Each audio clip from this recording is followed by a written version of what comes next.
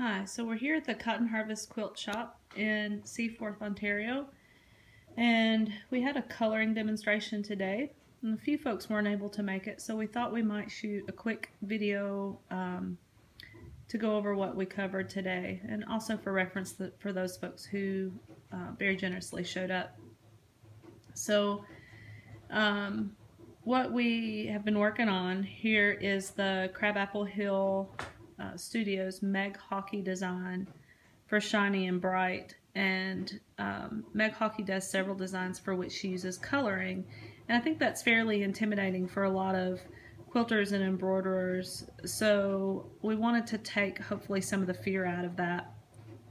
And we've done some other designs um, in the past and really enjoyed this uh, particular method of embroidery and uh, and making that pop a little bit. So here's another of her designs that we colored in the past and uh, Trina's gotten the embroidery mostly done. There's a few things that are lacking, but the color adds a lot, we think.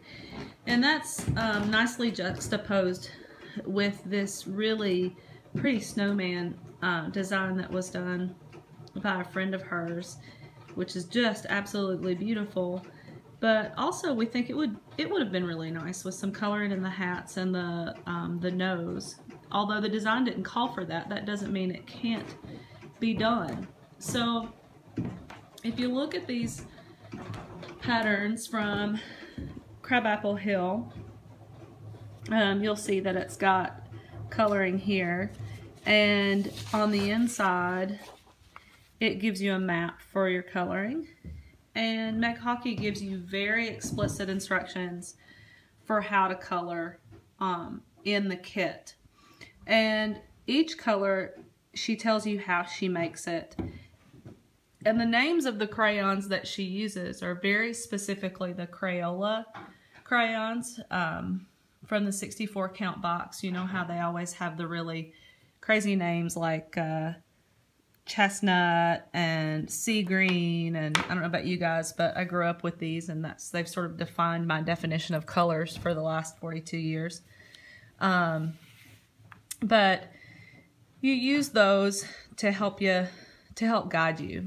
So if you're an embroiderer you know that you take your design and pin it to under your uh, pre-laundered and ironed muslin. And then you can put that on a window or a light box, or if you have a good background, a lot of times the it shows through the muslin nicely. And we use a um, Pigma Micron one millimeter pen in brown because that seems to do pretty well, not showing through the embroidery floss. And it's an acid-free ink, so it doesn't eat at our cloth over the years. So once we get our design all outlined, ideally we would iron it again to get out all these wrinkles um, so that we're not dealing with them constantly. But I've been working with this and wagging it around, so it has some wrinkles. And then we sit down for our coloring. Embroiderers always want to do the embroidery first and then put the coloring in, but it does much better if you color first and then embroider. So um, that's what we do. And that there are some tricks to that. It's it's pretty straightforward, and she does give you step by step instructions in the kit. But the nitty gritty of it is you color everything that has a color to it, such as all this. White goes down first, and that's much less like a painter putting gesso on a canvas to prep it. It creates a much smoother texture um, for the color. It allows the color to be smoother and it blends better once we heat set that crayon. So um, the first thing you do is you pick out a section and I do one section at a time rather than the entire design so that my arm's not constantly swiping over my white and taking it off and making it less consistent. So as I put down the white, I'm to have to resituate my um, my camera here for a second, but so as I do it, I um,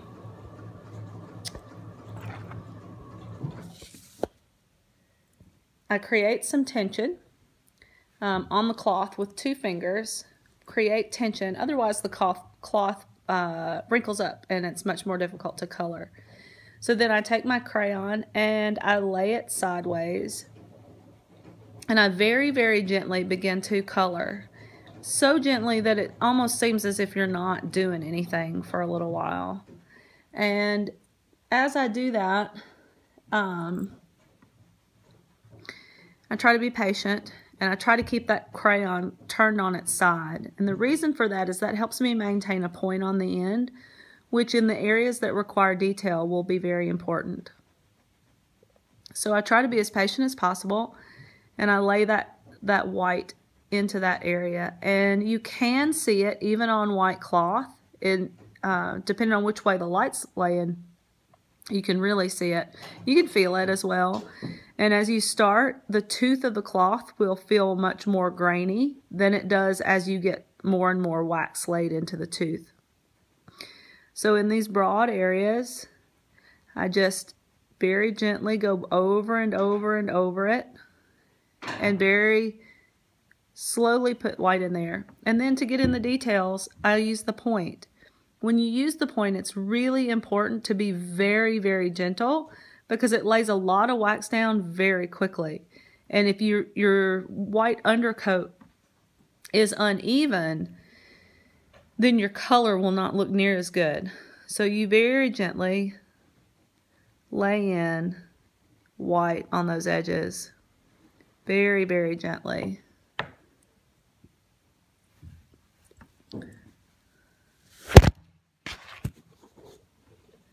And I'm sorry, my fingers are getting in the way, and this is not the highest quality video, but maybe you'll at least get the gist of it.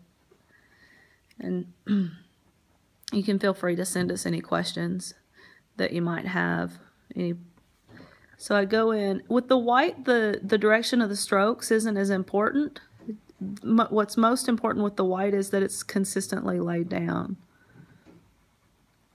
So once we get a good layer of white in there. You can look at the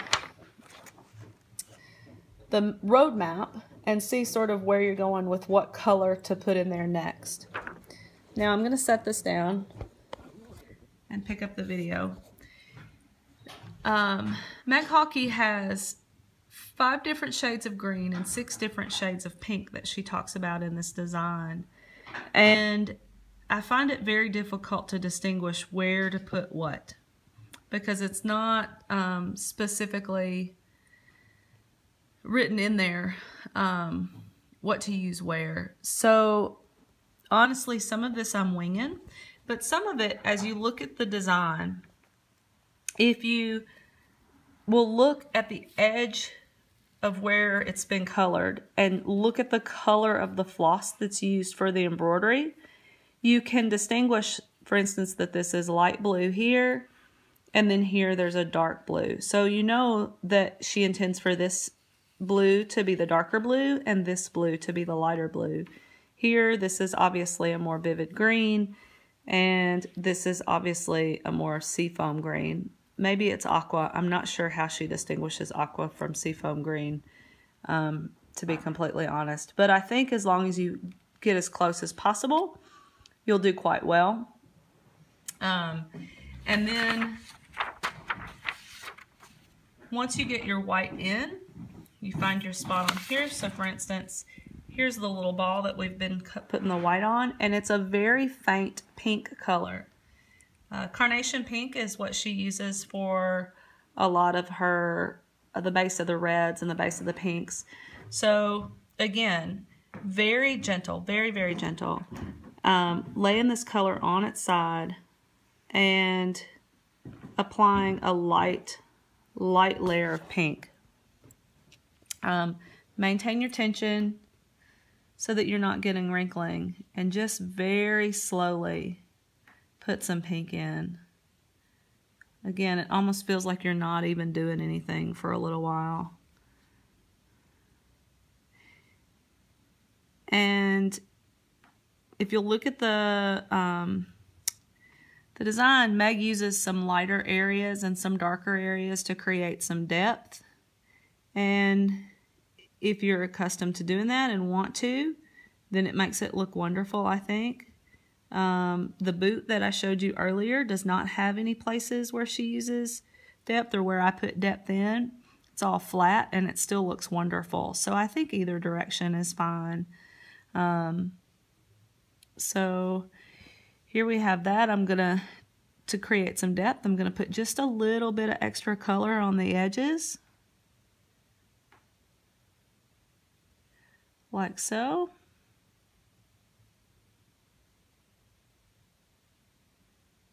With the color, you want your strokes to be a little bit more consistent because they will show up to some degree. I've found that when I shade, I really like to use a circular stroke. Very gentle circular stroke, and it seems to uh, translate really well to the crayons. Um, I don't use that in a lot of my paintings or drawings, but here it seems to do quite well. So we've created a little bit of depth there. It's still really pale, um, kind of like it is in the picture. And so the next thing we would do after we get color in all of the spots is heat set it. And um, that's a fairly simple process. You take a white paper towel that has no color on it and a dryer set to the cotton setting oh no, sorry, iron setting to the cotton uh, cotton setting that's dry, no uh, steam. You set your paper towel on top and then press with the iron for a few seconds. Lift it, lift your paper towel, and if there's any color there, then you do that again with a, a brand new paper towel. And you do that until all the color is gone. And I don't usually do that until the whole design is complete. Um, and once you have everything colored in and everything heat set, then you start your embroidery just like you normally would. And it goes fine. It doesn't cause any weird uh, toughness in the um, fabric. So if you have any questions, please let us know. And um, I hope you've enjoyed this. Thanks.